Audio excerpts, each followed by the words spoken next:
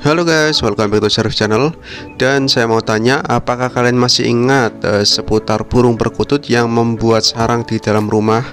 Ya, video tersebut uh, sempat saya upload beberapa minggu yang lalu. Burung perkutut tersebut uh, membuat sarang di dalam rumah.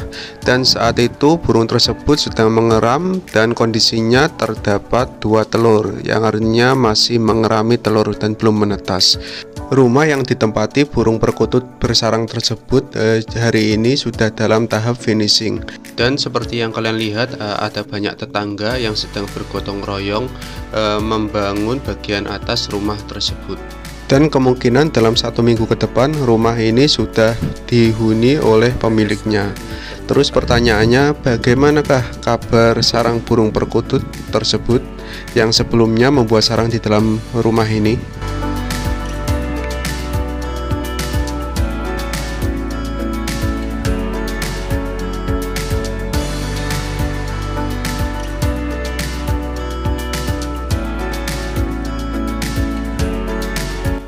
Halo guys, jadi saat ini saya sedang menuju untuk mengecek perkembangan e, sarang burung perkutut yang berada di dalam rumah. Sarang burung tersebut sudah saya cek dua minggu yang lalu dan kondisinya saat itu e, masih bertelur. Dan harusnya hari ini e, kondisi sarang burung tersebut sudah menetas guys. Langsung aja kita pantau gimana perkembangan dari sarang burung perkutut yang berada di dalam rumah dan saat ini kita sudah sampai di TKP guys. Eh, dan di dalam rumah ini eh, burung tersebut membuat sarang. Langsung aja kita masuk ke rumah ini untuk mengetahui gimana eh, perkembangan sarang burung perkutut tersebut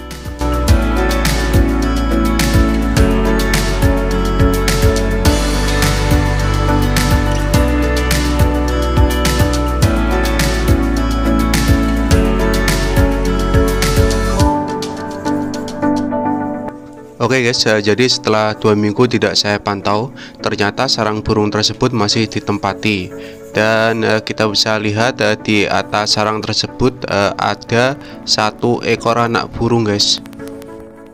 Jadi setelah saya cek ternyata di atas sarang burung tersebut hanya tersisa satu ekor anak burung.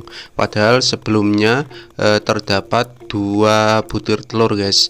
E, Entah yang satunya sudah terbang atau e, yang satunya telurnya hilang. Yang pasti di atas sarang ini hanya ada satu ekor anak burung